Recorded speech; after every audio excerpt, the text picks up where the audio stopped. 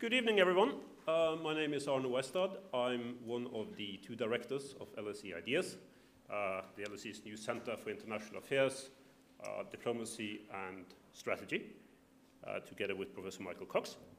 And it's a great pleasure and a great honor for me today to introduce uh, our new senior fellow in Ideas, uh, Professor Dominic. There are two occasions really for uh, us meeting up here tonight. The first one, by far, of course, the most important one, is the launch of Professor Lieven's book, Russia Against Napoleon. Uh, but I also would like to underline his affiliation with Ideas. It is wonderful to have him on board there. It strengthens the Russia side of what we do tremendously, and it will be, I think, something that we will develop a very strong, very exciting program on uh, over time. Professor Lieven is, of course, one of LSE's uh, leading international historians. His teaching is renowned. His range of knowledge on Russian international history, spanning several centuries, is, is deeply impressive.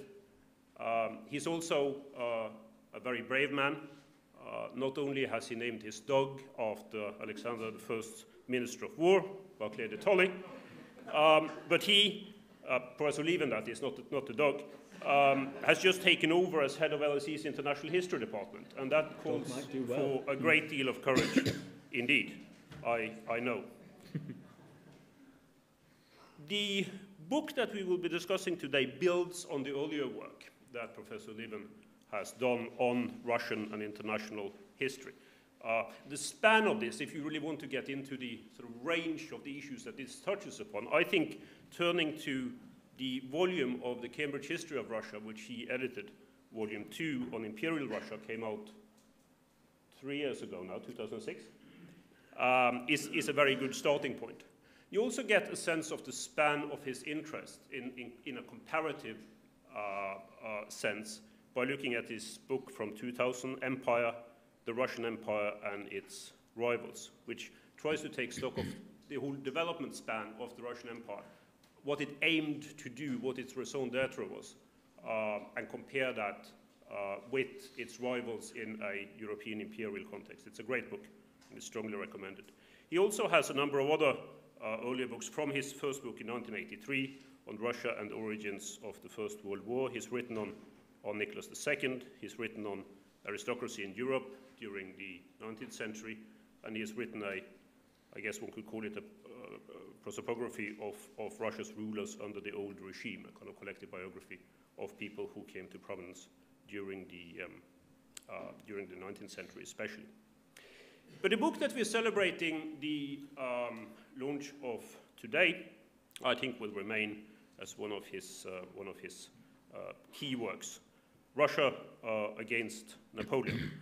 Uh, and uh, it's a book that's entitled in its English version, Russia against Napoleon, the Battle for Europe, 1807 to 1814. In its American version, I just discovered, it's entitled Russia Against Napoleon, The True Story of the Campaigns of War and Peace. and of course, the Americans have to, you know, there has to be a little bit more excitement, Tolstoyan excitement, I guess, uh, uh, with drawing people into this on the, on the American side.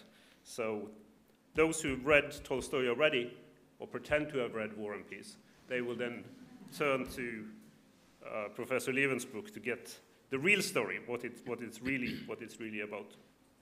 Um, this is great narrative history uh, with very significant interpretative advances built into it, exactly the kind of international history um, that I like. And I'd like just before uh, handing over to Professor Lieven, just to read you the conclusion to the book, the very last part of the book, in terms of getting a sense of the wider implications of this topic, where Professor Lieven writes, the basic point, presumably the basic point about the book, was that Alexander was convinced that Russian and European security depended on each other. That is still true today. But perhaps there is some inspiration to be drawn from a story in which the Russian army advancing across Europe in 1813-14 was in most places seen as an army of liberation whose victories meant escape from Napoleon's exactions, an end to an era of constant war, and the restoration of European trade and prosperity. And looking at Russian foreign relations in the big historical sweep in that perspective is something I think that all of us can benefit from. It's a great pleasure to introduce you here today, Chai. Looking forward to your lecture. Thank you very much.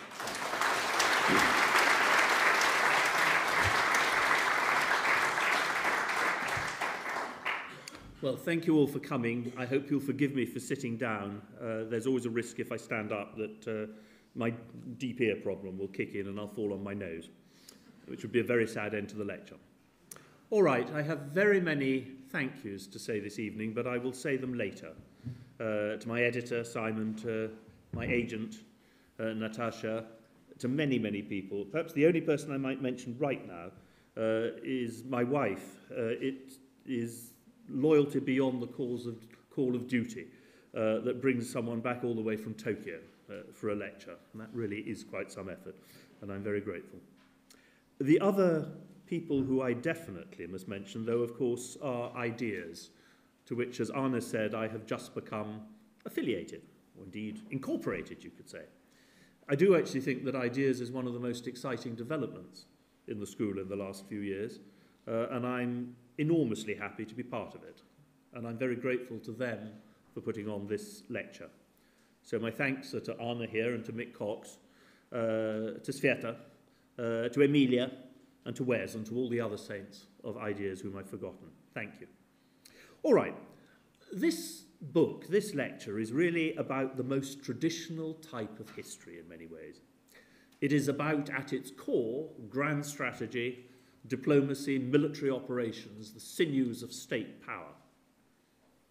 Beyond that, it is about these very traditional elements of the historian's art, high politics in the old term, under a European old regime. And if there is a single individual who is a hero of the book, it is the Emperor Alexander I. So this is quite literally a story of kings and battles at one level as one terribly well meaning uh, American put it, uh, 1812 and all that, with the obvious connotations of 1066. It is, of course, also precisely 1812 one of the most famous and often told stories in European history. So you might ask, what is there new to say about this most traditional area of the historian's art in one of the most told stories of European history? And I think the answer, and the rather surprising answer, is that there is a vast amount to say because most of what is understood, both in Russia and in the West, is almost a caricature uh, of what happened. And it is very interesting to ask why that should be the case. There are many reasons, but I think the most basic is the domination of the historiography of this era by various nationalist historical traditions. It is, in other words, nationalist mythology, which has distorted many of the realities of what went on and has very much conditioned the way that we understand the events which I covered.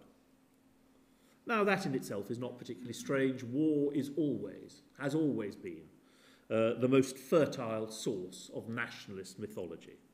The war hero is the absolute centre of most tales which nations tell themselves about their glory.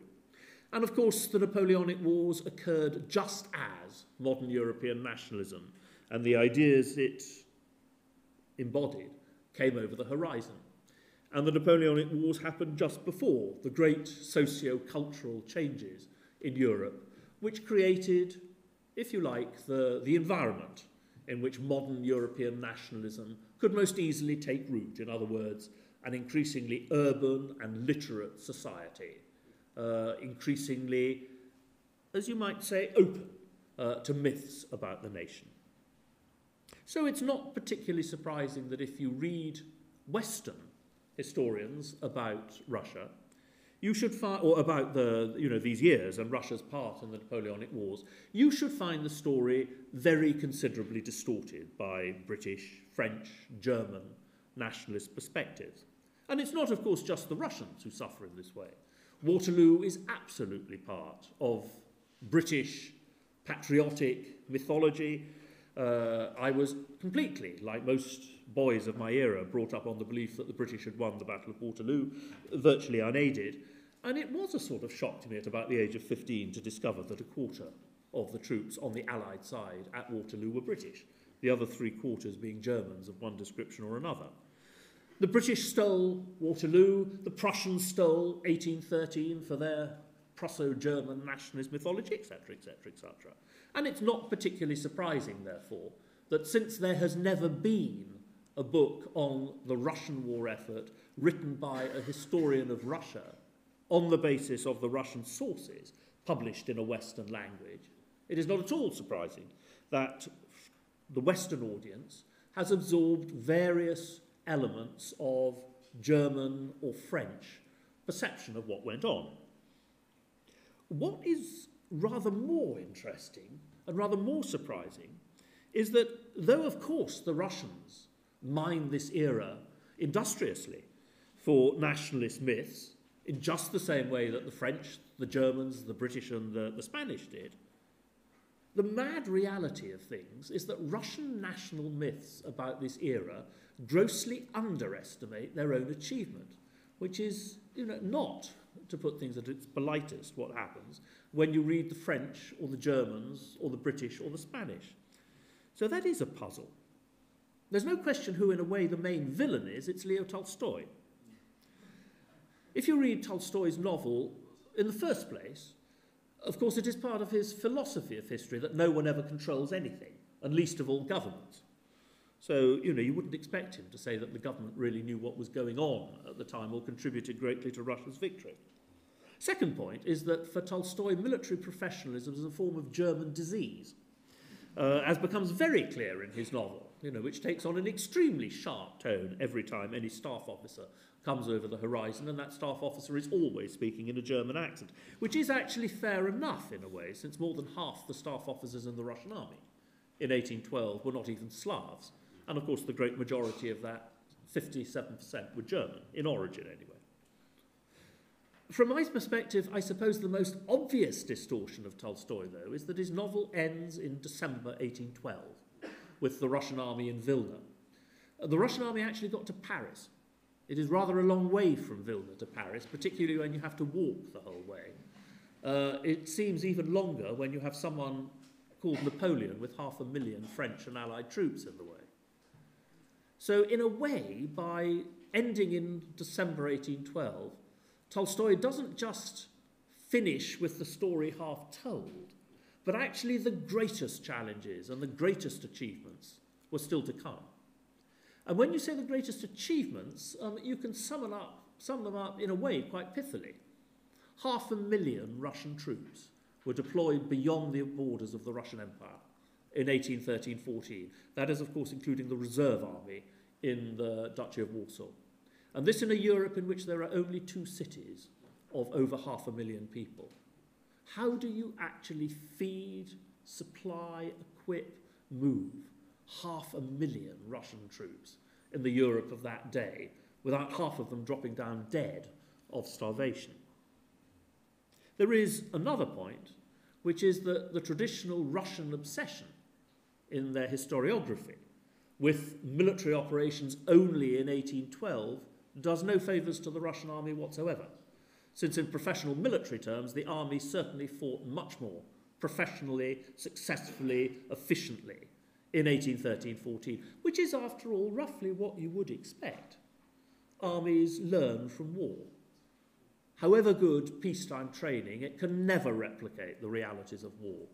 The army in 1813 has learned from what it did and did not achieve in 1812 and is a far more formidable instrument, whether you're talking, for instance, about the, the activities of the Russian staffs, the coordination of the various branches of the service on the battlefield, low-level tactics in terms of the use of light infantry and horse artillery, whole range of ways in which, beyond any question, the army, in professional terms, is much more successful, which makes it even more bizarre that a Russian patriotic tradition which glories in the army closes its eyes to that army's greatest achievement before 1945, which is its performance in 1813-14.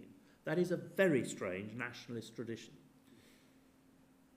As I say, it is in part Tolstoy's, in inverted commas, fault. Of course, it is not the business of a novelist to express historical truth in this way. Tolstoy is interested in other things. But it nevertheless is an interesting puzzle, both why he wrote that way and why the message which he got across is overwhelmingly the dominant one in Russian, Russian professional historiography and in the consciousness of the Russian people. The last attempt, for instance, to write a serious book on the whole period, 1812 to 14, spends 450 pages on 1812 and 50 on 1813 to 14. Though 1813 to 14 is a longer and more complicated set of military operations. I think it's probably fair to say that for every thousand books on 1812 or articles written in Russian, there is one on 1813 14. And that, I say, is a puzzle. There are a number of reasons which go some way to explaining this puzzle. But I think the most fundamental is relatively simple. In the Russian perception, as in Tolstoy's perception, 1812 is a national war. 1813 14 is the victory of the dynasty and of the empire. Now, there are problems about this. Many problems, some of which I will not be able to come across today. One of those is extremely simple. You can't understand how Russia fought the 1812 campaign without understanding 1813-14 because the Russian government from the very beginning planned for at least a two and probably longer war, which would begin on Russian soil but would conclude with the Russian army pursuing Napoleon westwards and raising a European insurrection against him. All the Russian planning whether you're talking about the mobilization of reserves or industry, everything uh, is based on this premise. So if you leave out everything that came after December 1812, in a sense, you get an entirely distorted idea of what the government was doing. And you also, by definition, don't pay attention to the home front or the mobilization of the home front because that really only matters in a long war. And for the campaigns of 1813, the, the Russian reserves, inevitably, don't come into action until 1813.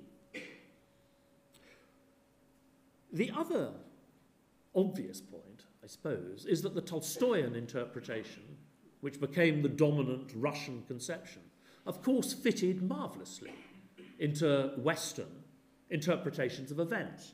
Napoleon was deeply grateful to be told that no one had controlled events and that everything was down to the weather and snow and fate.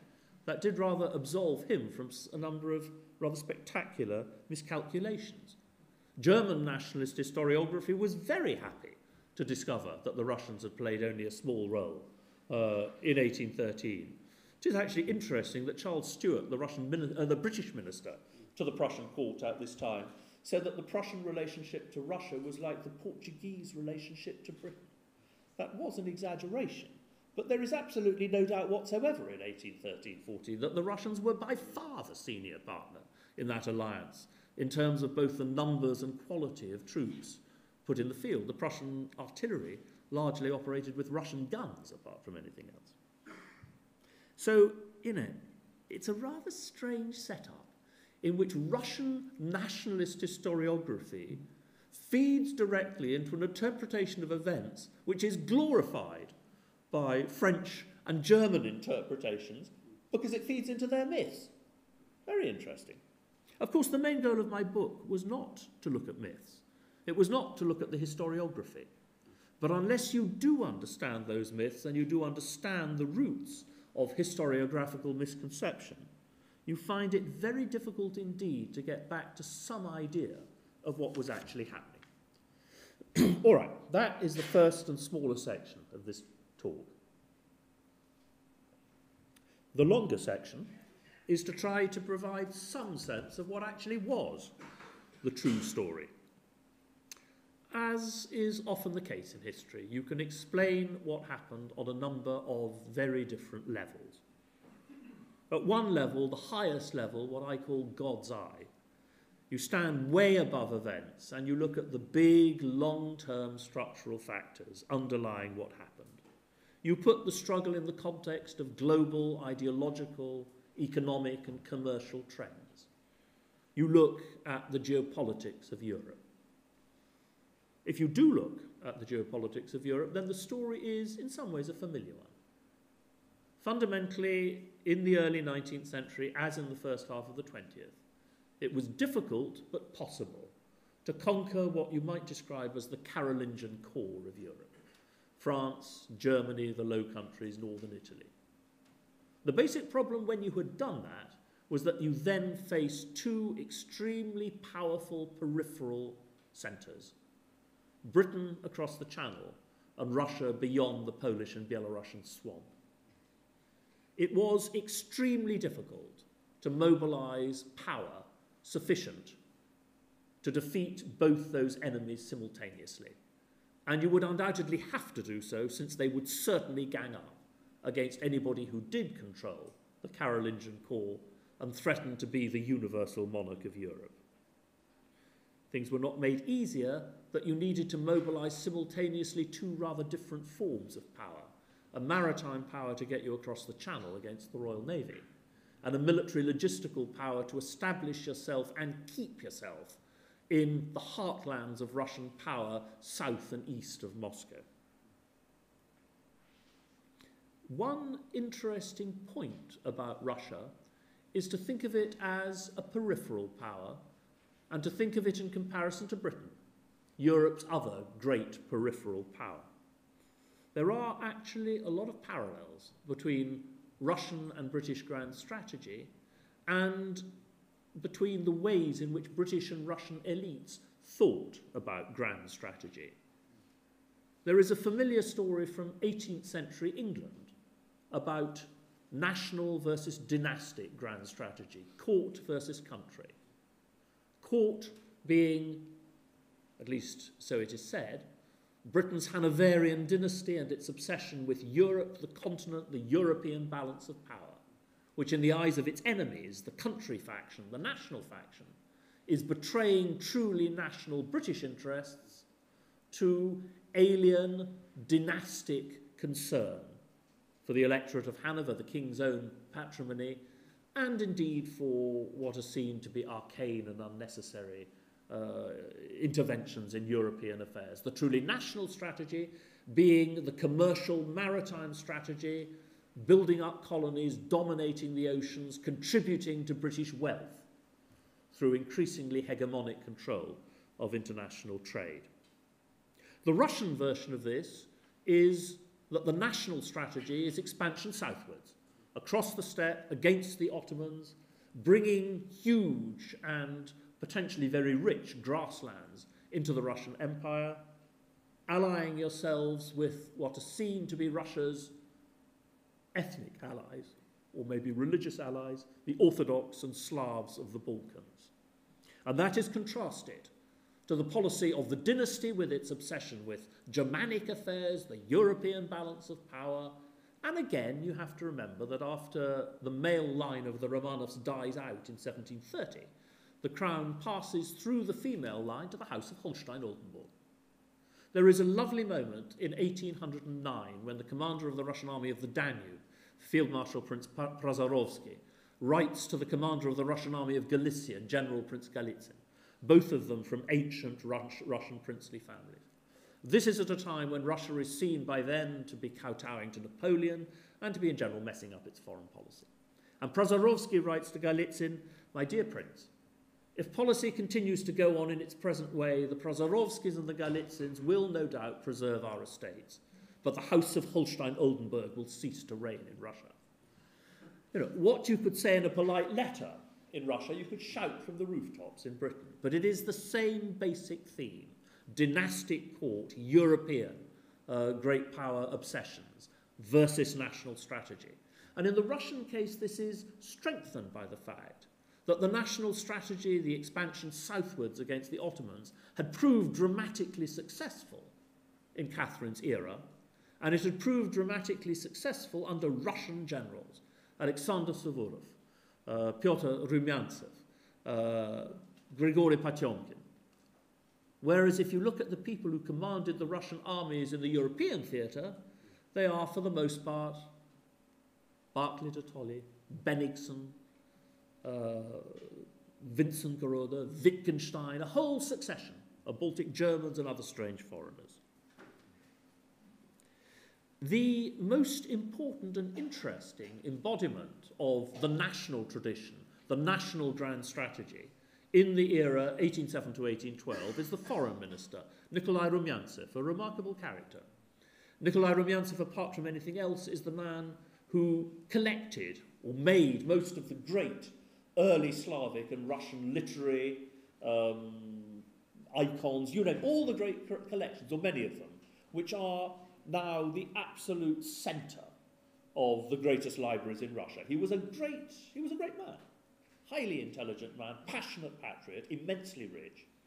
He was, for a foreign minister and a diplomat, a man with a rather extraordinary background, quite apart from being from the heart of the aristocracy, which of course was not new. He was also Minister of Trade and therefore had a very clear conception of what was going on in terms of global commercial and financial developments, which persuaded him that the British were taking over the world. He had also for a time been in charge of the water communications of the empire, canal technology.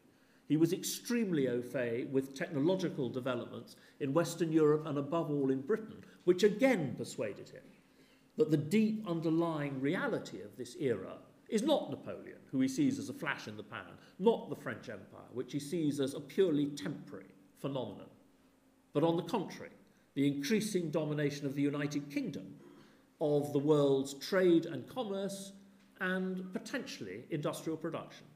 His great ally, or one of his great allies at the time, is John Quincy Adams, the American minister in Petersburg.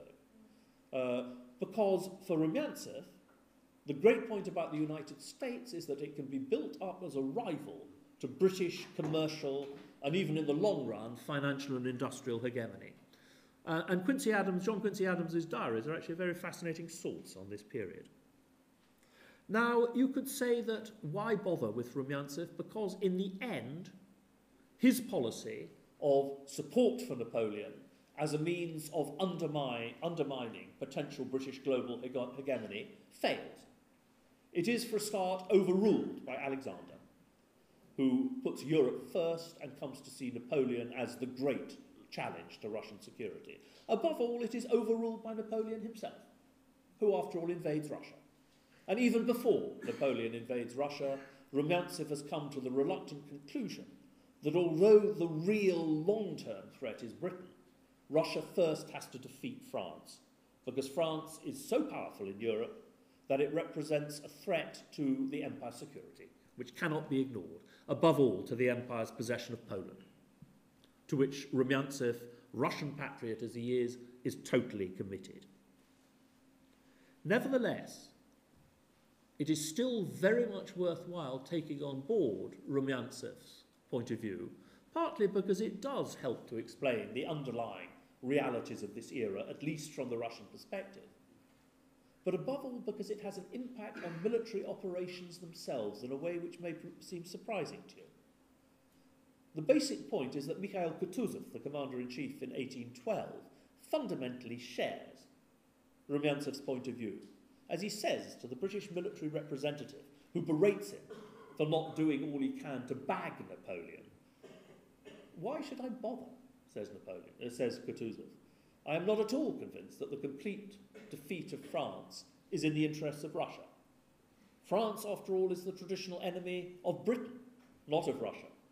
As Kutuzov tells the British envoy, the complete defeat of France will not redound to the advantage of any continental power it will merely complete the total hegemony of the United Kingdom in the overseas world as regards commerce, as regards finance, etc., etc., and will create a world which will not at all be to Russia's interests. Therefore, the survival of Napoleon and of French power, albeit diluted and diminished, is a Russian interest. Okay, so I've spoken too long, but it gives you some sense of this God's eye view. Right at the other end of the scale is what I talk, call the worm's eye view. You know, and the worm's eye view has all sorts of elements to it. It has to do, for instance, with the thickness of Russian paper, which makes it very difficult to have tightly engineered muskets, which helps to explain why Russian musketry is probably the most inaccurate in Europe at the time.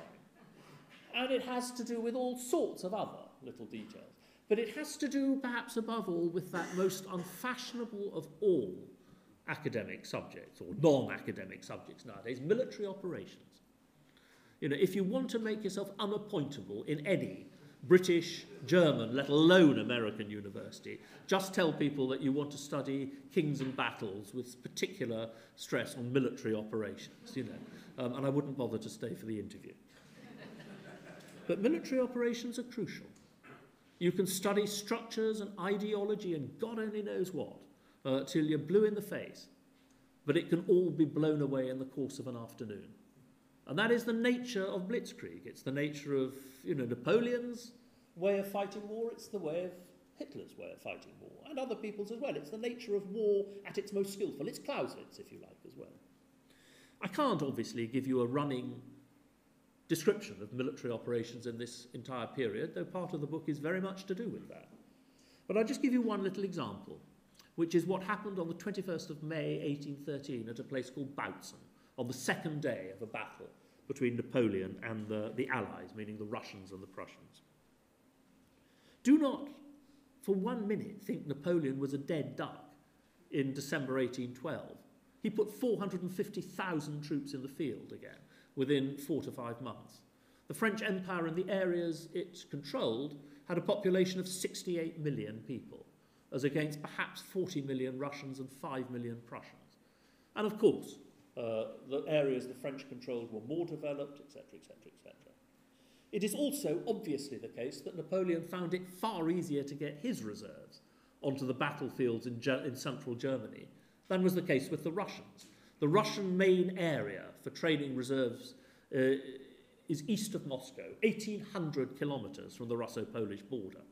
Uh, even when they got to the Russian-Polish border, they were still, of course, forced to cover across Poland and part of Germany. Actually, half of all the Russian reserves which departed from Russia in the winter of 1812 to 13 died or fell out before they reached Germany.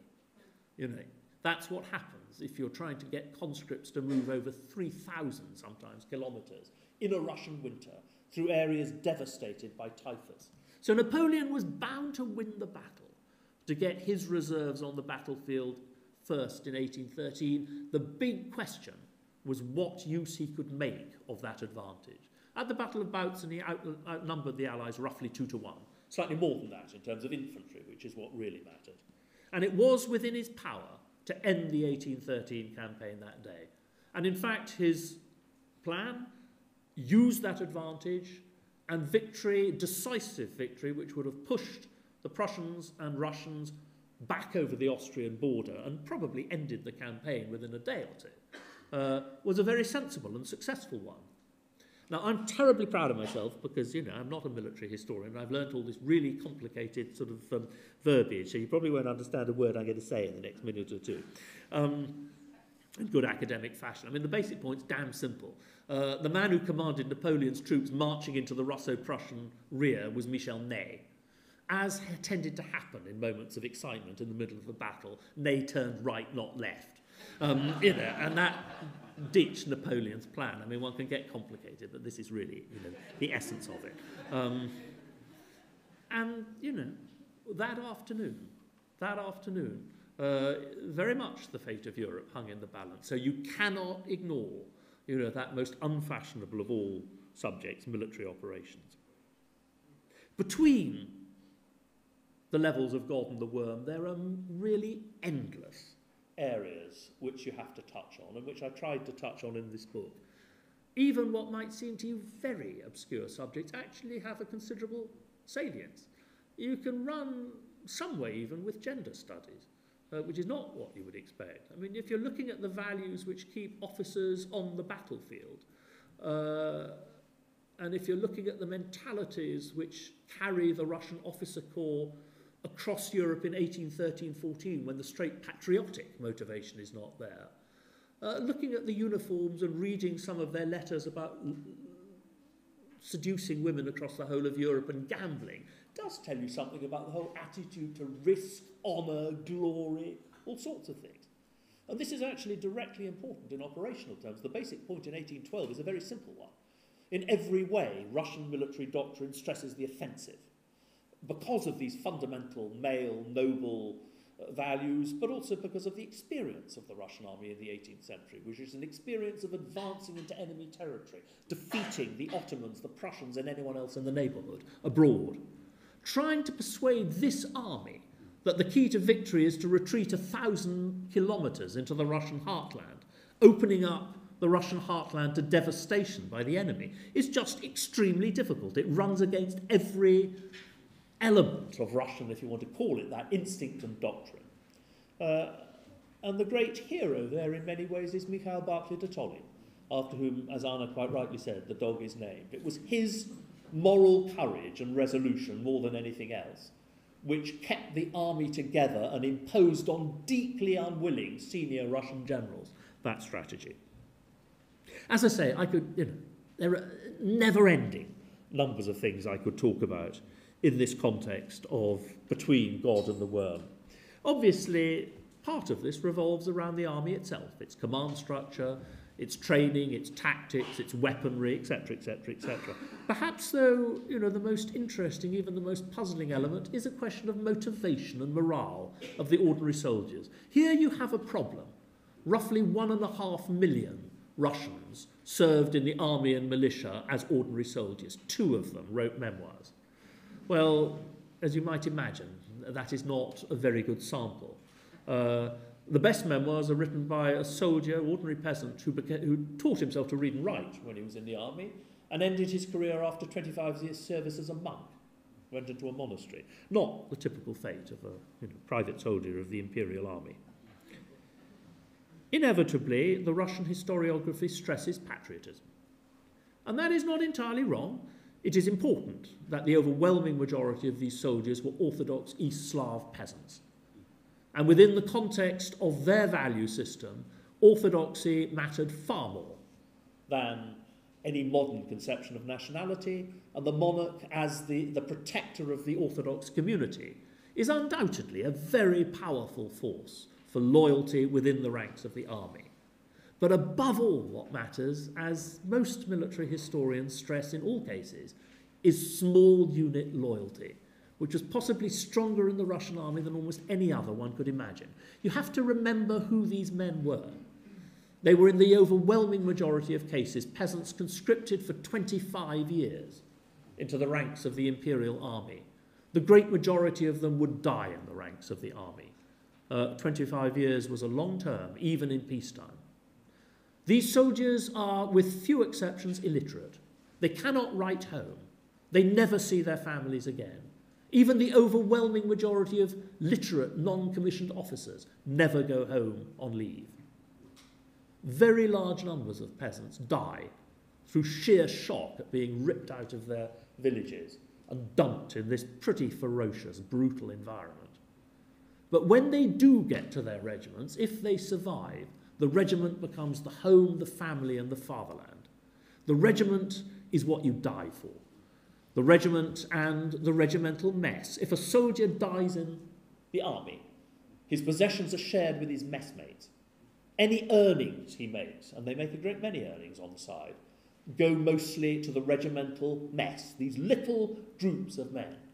You know, if you do as I have done and read through the very lovingly preserved personnel records of the army, what you get is a picture of Russian regiments dominated by men who have served in them for 10, 15, 20, sometimes 25 years. As in any army, it is the NCOs and the senior rankers who really matter. You know, regiment after regiment, you will get men who have been in the army and, in most cases, in that regiment, in virtually all cases, in that company in that mess, you know, for 20 years. It creates an enormous sense of solidarity and of commitment. And it goes a long way towards explaining why, you know, that old proverb, You didn't just have to kill Russian soldiers, you had to knock them over too. They had a staying power and a discipline which was beyond that of any other army in Europe. I don't think any other European army could have retreated from the border to Moscow without disintegrating. The British disintegrate twice in the peninsula. The French disintegrate both after Moscow in 1812 and after Leipzig. The Prussian army disintegrates in 1806. The Russian army does not, despite having been put under the kind of pressures which have an enormous uh, you know, uh, impact on morale and discipline. So I think that is an interesting point. W- what you have to remember, to put it in a nutshell, is that the, the, the army of the emperor is not the Russian nation and arms. It is an army built around regimental pride and a veteran cadre. That is both its strength and its fragility. Napoleon is quite right to believe that if he destroys that cadre, he's won the war. You'll never be able to resurrect it in wartime. Kutuzov is deeply scared by November 1812 that the losses are reaching such a level that the core NCO and veteran cadre, the regimental cadre, is being destroyed and will have to be reconstituted from scratch, at which point the Russian army will be worse than a militia because it doesn't have a kind of citizenry, a concept of citizenry uh, to sustain it. All right, in terms of you know, all those other factors between God and the worm, I shall just talk briefly about two. One of which is the horse, and the other of which is espionage.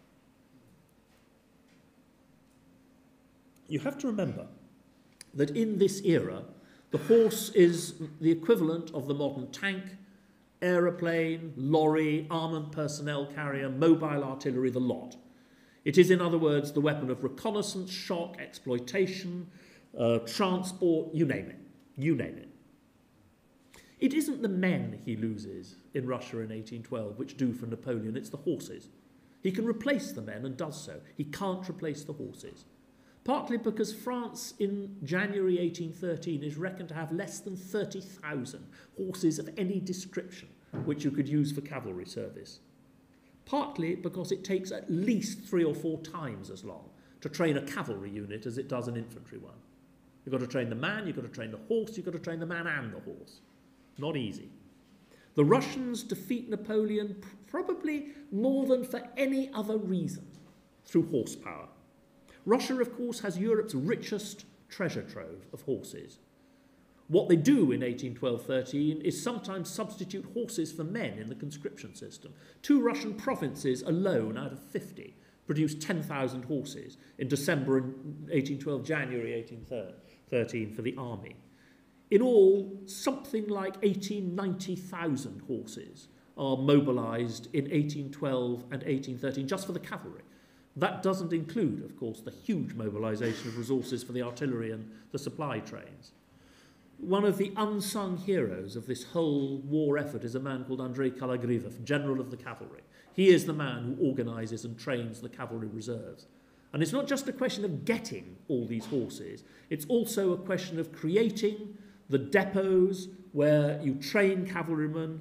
It's a question of creating the, the horse hospitals, the various little workshops, not little, big workshops for horse furnishings, etc., etc., etc., etc. Watching the way in which Russia mobilizes its horsepower, turns horsepower into effective cavalry, uses its existing cavalry cadre intelligently to train cavalry reserves is actually extremely fascinating. It is, in one sense, the equivalent in the Second World War at looking at the Soviet tank uh, formations, how they were trained, how the tanks were made, except it is the absolute core of power at that time. I mean, Kologrivov just in 1813 sent 200 squadrons of reserve cavalry, 45,000 men, to the front. Uh, and by universal consent, these are the best reserve cavalry in Europe. You know, it isn't a coincidence that after all the war ends in 1814 when the Russian cavalry intercepts Napoleon's correspondence with his wife, telling the Allies that he is not going to defend Paris, he's going to raid their rear in the hope of drawing them away. The Russian cavalry presents that to their high command. The high command moves on Paris because it knows exactly what Napoleon's up to. And this is, in a sense, a fitting culmination of after two years of war in which the Russian light cavalry in particular is superior to the French from the start and is totally dominant after the retreat from Moscow. So the horse is crucial. It is, of course, not much heralded in the history books because nationalist history is interested in human heroes, not horses. the second point is espionage, that interesting area, intelligence, to put it politely, between the fields of foreign policy and military history. What is very seldom understood is that the Russian espionage system and intelligence systems ripped apart uh, the Napoleonic, both civil and military structures of power. They totally penetrated right into Napoleon's own family, right into the Ministry of War, right into the Foreign Ministry. There was simply no secret in France which was not on Alexander's desk within a month or so of being on Napoleon's. That is perhaps a slight exaggeration, but not a very great one. The two heroes of Russian espionage are Alexander Chernyshev on the military side and Karl von Nesselrode on the diplomatic side. Both men in their 20s, they head the Russian military opera espionage operation in Paris in the five years before 1812. And it is actually a mark, they are an example of one reason why the Russians do defeat Napoleon. They promote a number of extremely able men when they are still very young to top positions. On the strength of their success in 1807 to 14, Nesselrode is foreign minister for four decades and Chernyshev war minister for two. I can't begin to give you a sense of the range of what they did. Uh, I suppose that, I mean, Chernyshev had a you know, row of spies. His most, probably most effective one was his spy at the centre of the the, the War Ministry. Every month, the French War Ministry produced a large book, essentially, of course, for internal circulation, five copies, detailing the, the numbers, deployment, needs, movements, the, every single unit in the French army down to regimental size. Every month, a copy was delivered to the Russian military attaché in Paris, Chernyshev, to be copied and on Friday evening to be copied and returned to the ministry on Sunday evening. The Russians could trace absolutely the movement of every French unit in Europe. Of course, they didn't believe a word of what Napoleon said. They knew very well that no one is going to move half a million troops across Europe and not start a war. It's rather expensive apart from anything else. Nesselrode, among other things, buys up the French intelligence operation in Russia. Uh, one reason, it seems, why Napoleon partly ruins his army racing for Vilna, convinced that Alexander will defend it, is that the Russians have turned the, first, the, the main chief, the, the chief French agent in Lithuania, and have fed misinformation back to Napoleon that they will fight for Vilna. So Napoleon presses ahead, ruining half his horses in the process. That's what the Russians say. I mean, you know, we wait for corroboration of this. We'll see.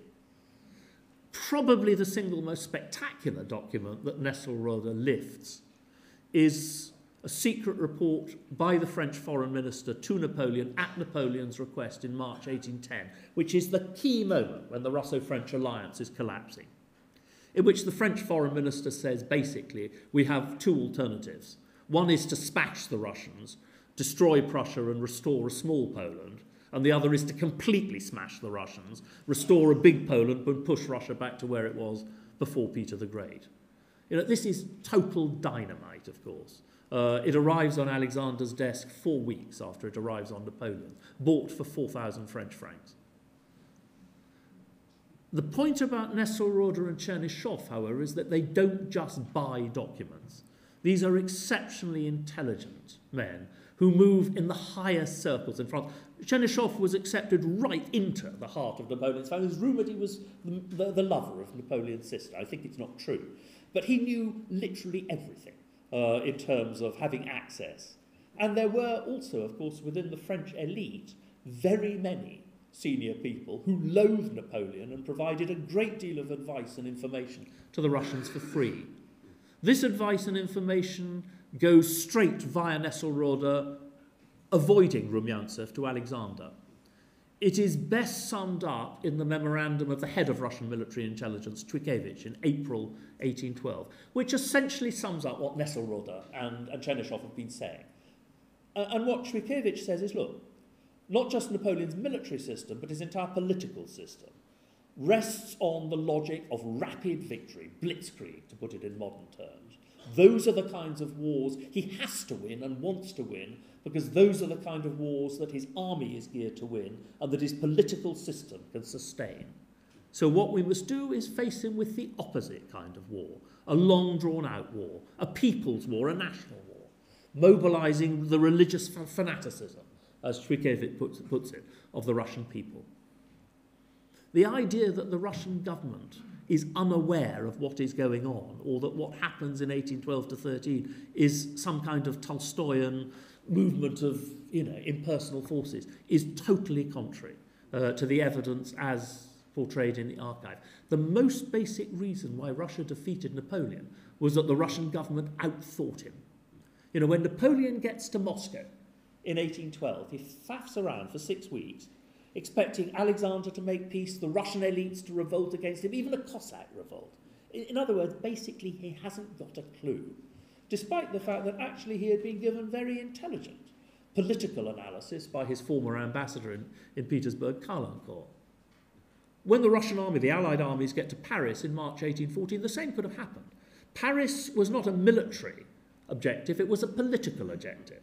The Allied capture of Paris was only meaningful if they could exploit it for political reasons. Within a week of the Allied armies reaching Paris, not just Napoleon, but the Bonapartist dynasty had been overthrown, essentially by a coup from within the French elite. That coup headed by Talleyrand, who, after all, had been, he was probably the person who was shipping these most secret diplomatic documents out, and had certainly at times been in the pay of the Russians.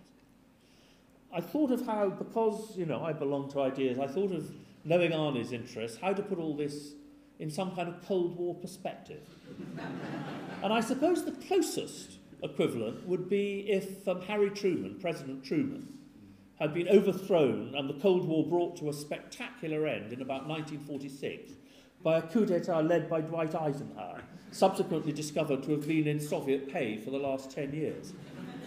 And that tells you something of what is going on, but I think is probably beyond the imagination of even Joe McCarthy, at which point I'll stop.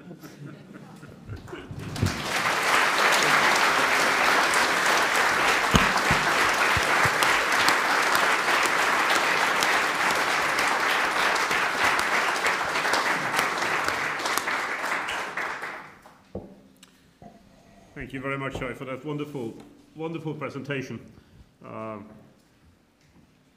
it might not be war and peace, but um, there are some elements in this that does uh, remind me a little bit of those of, of the stories in the way uh, Tolstoy are telling them, although with a very different perspective, uh, and probably with very different conclusions as well. Um, I'm sure there's a, a, love story or two in there if you explore the footnotes. I think I, I discovered a couple of those, so there may be, there may be more to it uh, than just the um, just historical interpretation. I wanted to start out with a question that really goes back to what you said initially about uh, the multinational aspects of these efforts. Um, it really struck me when I was reading the end of the book, um, covering the 1812 1814 period. The discussions that you describe going on among the top leaders on the Russian side about, you know, moving into Europe, but what then to do with Europe? I mean, what, what are their plans? Where are they going to end up after Napoleon has been defeated, or at least defeated on the, on the battlefield, as it were? Um, and I wonder, in connection with that, what an impact on those discussions you think it had that the leadership, not of the, only of the Russian army, but of the Russian state, were such a multinational crew. I mean, not just um, Germans from the Baltic states, of which your own ancestors, of course, were a very significant and influential family, uh, but also people from all over. I mean, in terms of their ancestry, in terms of who they communicated with, who they had grown up with uh, before the war started, how much of an impact do you think that had on those discussions? I mean, what was Russia after? What did Russia see for itself at the end of this cataclysmic set of battles? Well, in one sense, of course, if you're talking about top level decisions, Russia is Alexander. Yeah. Uh, it is the emperor who decides. Uh, he may listen to X, he may listen to Y, but he decides. Uh, and this is not a theory. Alexander is, in every sense, uh, Russia's leader. uh, as essentially, you know, as much as Stalin was, not by the same methods of terror, um, but unequivocally uh, the man who makes the final decisions in terms of grand strategy, diplomacy, and to some extent even military operations. Mm. Alexander chooses to listen uh, to a group of advisors, very many of whom are not even his subjects, actually, uh, the majority of whom are not ethnic Russians. And that has got to do with, personally, his own personality. He tends to trust foreigners more than, certainly on military terms, Russian generals. Uh, but it is also to do with his fundamental commitment to Europe and his conviction that Russian security is indissolubly linked to European security. I mean, if it had been, look, in terms of contingency, Alexander pranced around on the battlefield and on one or two occasions was very nearly killed. Had he been the Russian army, well, had he been killed in 1812, that was not likely. Mm. I mean, he was not on the battlefield. Had he been, the Russian army would probably have not pursued Napoleon over the, the Niemen. Had he been killed in 1813, as he very nearly was, there is no question of the Russian army going across into France. It wouldn't have done. Uh, a large section of the Russian leadership, Kutuzov, of course, being the most obvious, uh, having got Napoleon out of Russia, basically said enough's enough. It's now for the Europeans to rescue themselves. Alexander decided otherwise, and I think he was right. I mean, the basic, the, the basic thinking is that so long as the French control Germany, uh, Russian security is deeply at risk and indeed is indefensible. Not least because the French will control such resources uh, that Russia will not be able to sustain the kind of military build-up uh, to hold them at bay. You know, again, you have to remember, Russian revenues are a quarter of Britain's revenues in 1804. Russian real revenue declines by 25% between 1804 and 1810. Mm. Uh, it is one of the big issues. I spent a lot of time on this in the book looking at how it is that at this supreme moment of crisis, the Russian state manages an effective war effort at a time of such deep fiscal and financial crisis. Well, Alexander is well aware of the fact that if he makes peace with Napoleon while the French still dominate Germany, uh, in the medium to longer run, uh, he simply can't sustain the, the financial burden involved.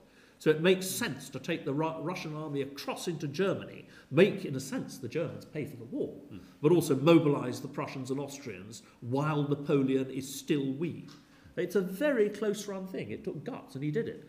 His basic perception is, as I say, that you've got to get the French back over the Rhine. Mm. Once you've got them over the Rhine, he goes all the way to Paris and is sometimes accused of having done so for petty reasons. I think again, though, he was right. Hmm. His basic conception was that the nature of Napoleon and of the Bonapartist regime was that he were never going to have peace and stability in Europe so long as he sat on the throne. And I think Napoleon III proved that. I think it was just in the nature of Bonapartism. I mean, my, you know, I had this, well, Simon's here, but I, my publisher, but this, I said to him my basic idea for the cover. You see, it's deeply unprejudiced. Uh, this was at a time when our house was invaded by rats, and I wanted me and my dog on the cover, dressed as Russian generals, both standing on stools with pitchforks, with a lot of French um, soldiers dressed as rats. I mean, no, there were French rats dressed as French soldiers, with a very fat Napoleon rat in their head. Mean, this is roughly my conception, and I think, although it's, as you might say, a touch crude and unacademic, I mean, it does have a basic sense to it, until you put the whole thing in the global context. Mm. And then you realise that in some sense, what's Napoleon to do? British sea power locks French imperialism into Europe.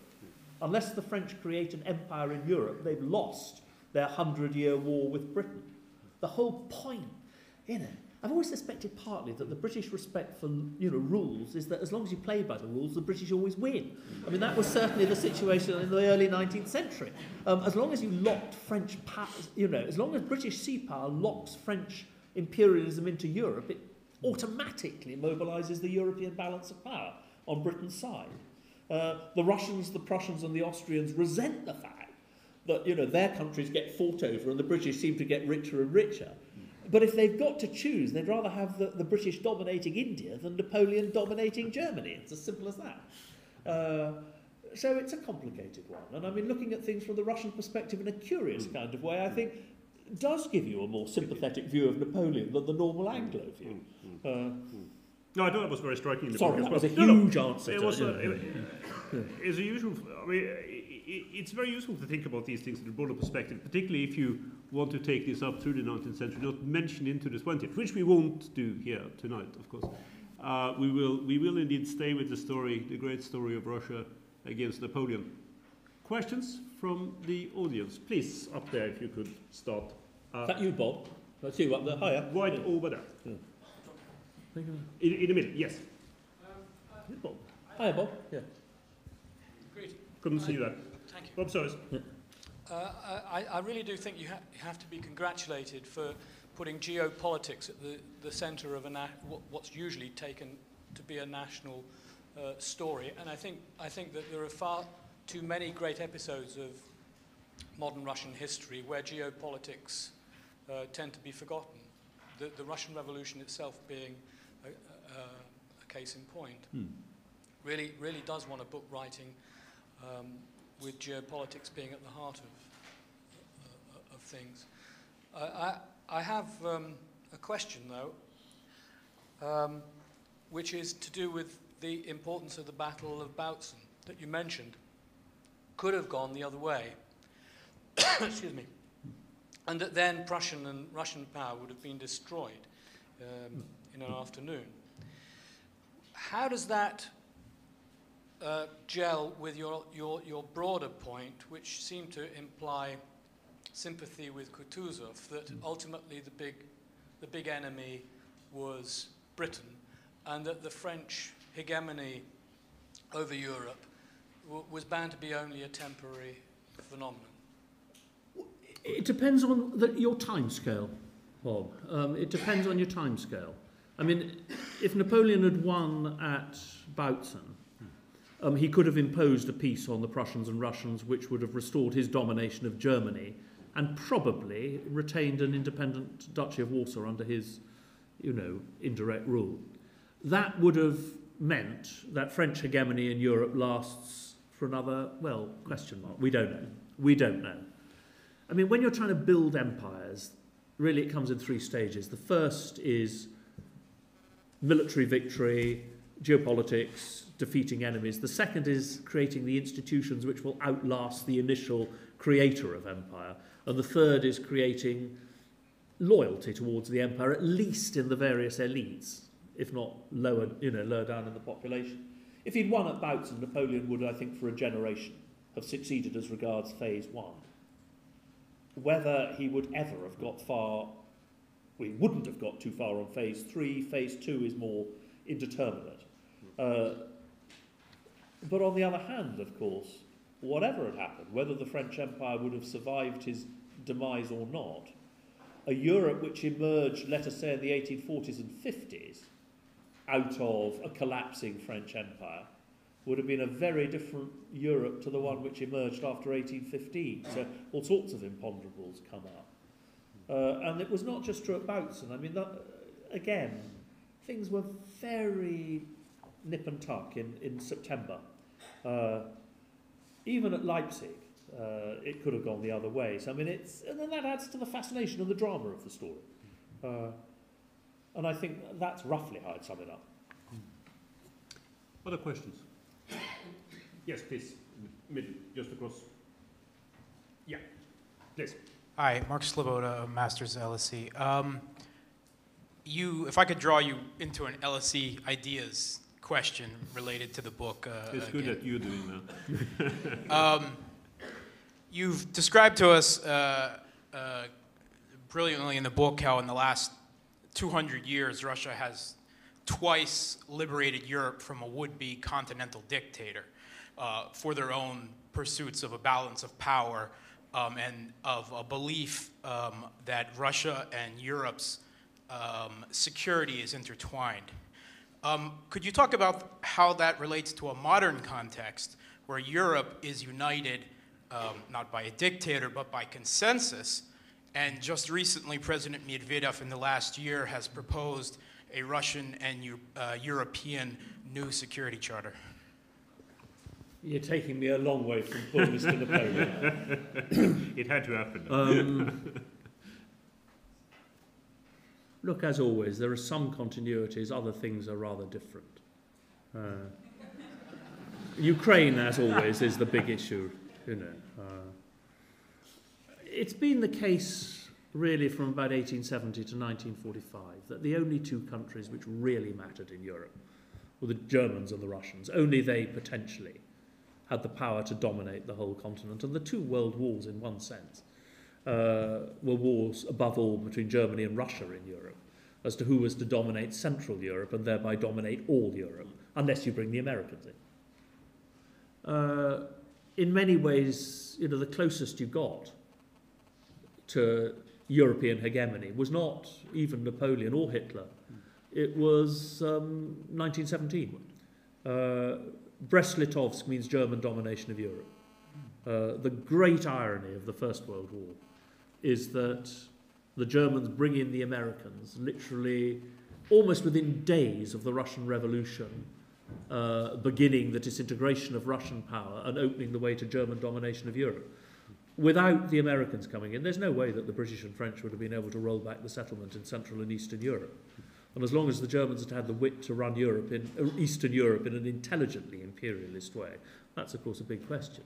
Um, they'd won. And that actually brings you back to my period. It's very difficult to defeat Russia in a blitzkrieg. Distance and resources make that, you know, quite a challenge.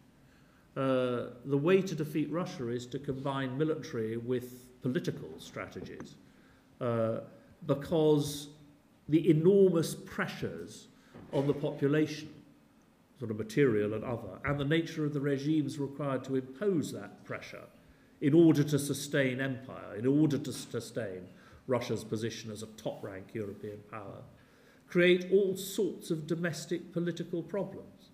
Uh, the, you know, Russia has been defeated in these great confrontations in the First World War and in the Cold War. But it was defeated by combinations of military and political pressure, not by all out blitzkrieg. I mean, the biggest failing of Napoleon is really a political failing in 1812. It was not going to be easy uh, to defeat Russia by a combined political and military strategy, but it was possible. Uh, and Napoleon blew the opportunities to do it. So that's how I would most easily fit this into a much bigger context. Anyone else over on this side? Yes, please, in the blue. Jump over there. I'll get you as well, sir. Dominic, what was the what was the, the catalyst for you even to start this book? That's the best question to be asked after you finish the book. Well, I think, look, Robert, at one level, you know, all my ancestors were Russian generals in this damn war. So, of course, there I was prancing around at the age of four, convinced I was defeating Napoleon. You know, I mean, you know, I mean, I must say, God bless the British. It is a very, very rare fellowship like the Guild which allows a sort of podgy middle-aged professor in his mid-50s to blunder around on full salary, full research grant, full everything for three years, fulfilling his childhood fantasy. I mean, you know, um, that, that, I suppose, is the simplest answer. Uh, it, it is all, I mean, it is a fantastic story. It is a fantastic story. Uh, and it is a story which I am absolutely convinced has been told completely untruthfully year after year, and I just got fed up, I suppose. That's another, you know, basic answer. Um, so you've got, you know, two. Uh, and I think, you know, to do me justice, that the story does actually say an awful lot. Uh, you know, it says an awful... I haven't been able to bring this out, but this is a story of how Russia was mobilized against Napoleon. It tells you an enormous lot amount, I think, about the nature of Russian society and state at that time. Uh, you know, this is not some kind of totalitarian dictatorship. Uh, you have to remember that state authority virtually ceases below the provincial capitals in Russia at that time. Mobilizing the war effort, the Russian domestic front against Napoleon, is above all the state collaborating with the landowning nobility. Without that, it's helpless. Uh, and in fact, in 19, 1812 to 14, you know, the state is able to coercively mobilize the masses into the army, that's more or less its raison d'etre.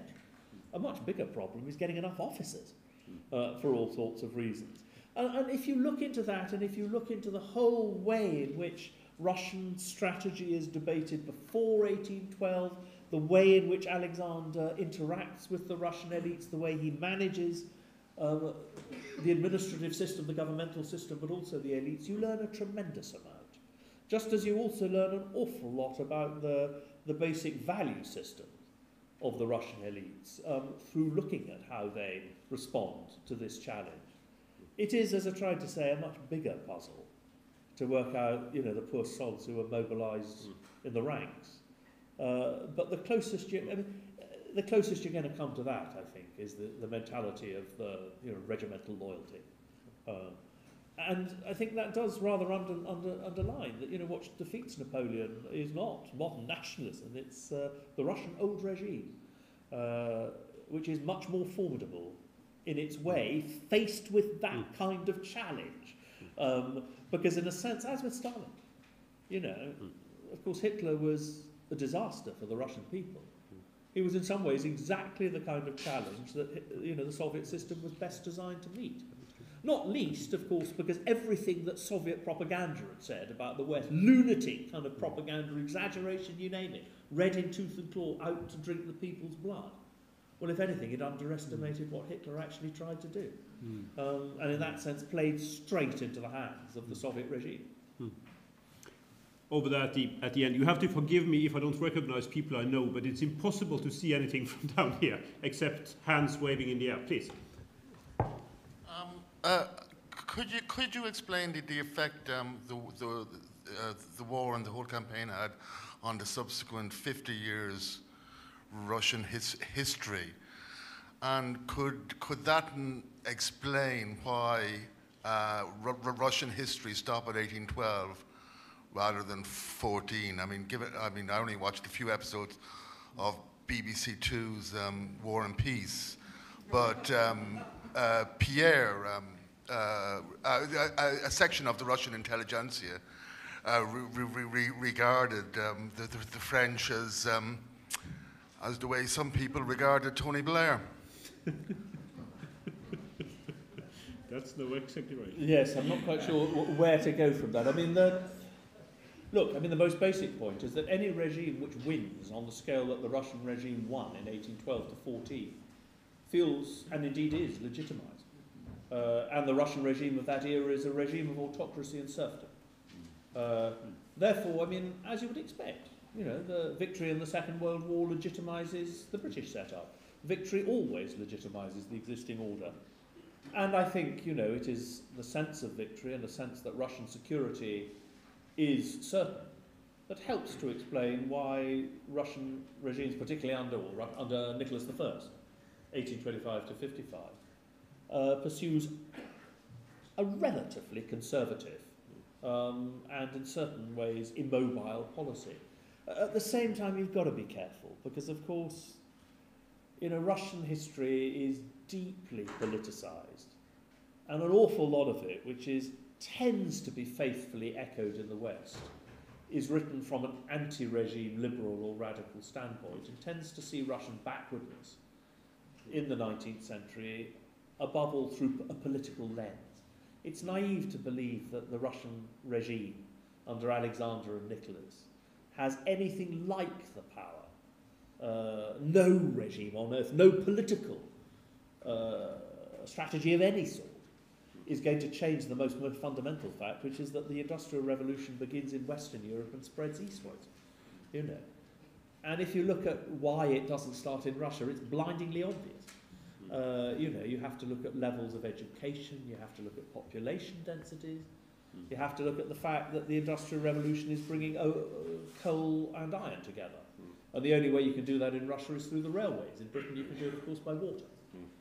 Um, so I would be reticent to attach totally overwhelming importance to what happens in 1812 to 14, or indeed to anything political, as an explanation for Russia's growing backwardness in the 19th century. It is a factor, but it isn't the main factor, in my view. There's someone in the hat over there. Yes. Could please? We have to make that last question, please. Yes. In uh, 1840, there was a crisis, although it wasn't as big uh, in terms of threats to the balance of power as other ones, but nonetheless, it was very interesting that France found itself in a minority in supporting Mehmet Ali and his, uh, auto- uh, his attempt to carve out a little bit of the Ottoman Empire for himself. Austria, Britain, Prussia were all against that. Russia was somewhere in the middle, but how would you ca- characterize that, you know? And France was in a minority of one. Well, France was in a minority of one, basically, in the 1820s and 30s, because, as you would expect, you, know, you have to remember the cataclysmic impact of the revolution in Napoleon. 22 years of war um, devastates Europe. You know, the levels of casualties are enormously high in terms of the populations of that time. It's rather interesting. When the Russian army gets to France in 1814, you read the officers' letters, they say how poor France is, how much poorer than Russia it is. Uh, you know, they don't say that about Silesia or Saxony. No, no, they love Saxony and Silesia. Great, you know, nice podgy German buxom women, you know, even nicer farms, you know, animals even podgier than the women. Great place. Get to France, they say, you know, this place is poor. This place is really poor. Um, is fascinating. Uh, and, and so France, you know, is regarded as a universal threat in the 1820s and 30s. Uh, you know, nobody wants the French to get gallivanting around again. And, you know, blow me down, the second they get a Bonaparte back after 1848, they're up to their old tricks again. I mean, this time even stupider than ever, in the sense that, you know, he undermines the European system to France's even more direct disadvantage than his uncle had done. Uh, so I don't find that puzzling in the slightest. You know. Charles, let me congratulate you again on a book that I think all of us will enjoy reading. I certainly enjoyed it tremendously as I enjoyed your, your presentation here today. I particularly enjoyed having you on board as a senior fellow in Ideas. It is something that is not just going to produce a lot of good research on Russia, as you could hear from tonight, it's also going to be great fun. and thanks to, thanks to everyone for coming. There are books uh, for sale outside. Could I please ask you to let the speaker leave first, uh, because he has some things that he needs to look after. Uh, Like writing in the book. out, yeah. outside, such as writing in the books.